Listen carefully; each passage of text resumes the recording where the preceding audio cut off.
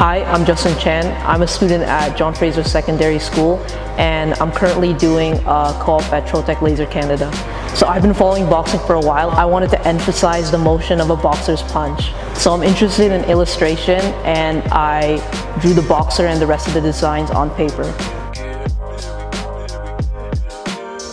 I took a picture of my drawing with my cell phone and then imported it to the design software. So Trotec showed me how to vectorize the image and convert it to a photo optimized image for the laser.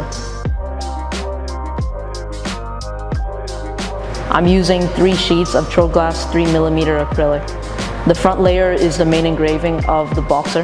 The second layer is the secondary engraving of the motion of the hand. The back layer is inlaid acrylic.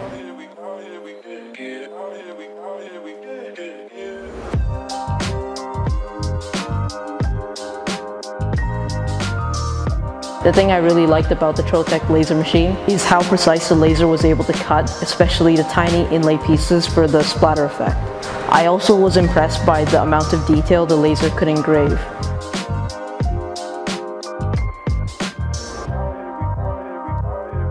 I cut out the splatter effect. Trotec showed me how to use the contouring method, where I cut out my colored acrylic and inlaid it for a tight fit.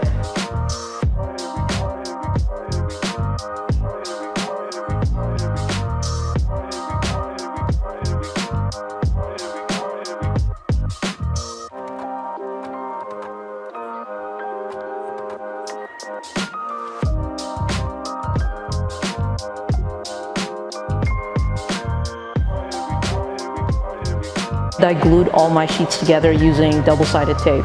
I also made a base frame out of the red acrylic.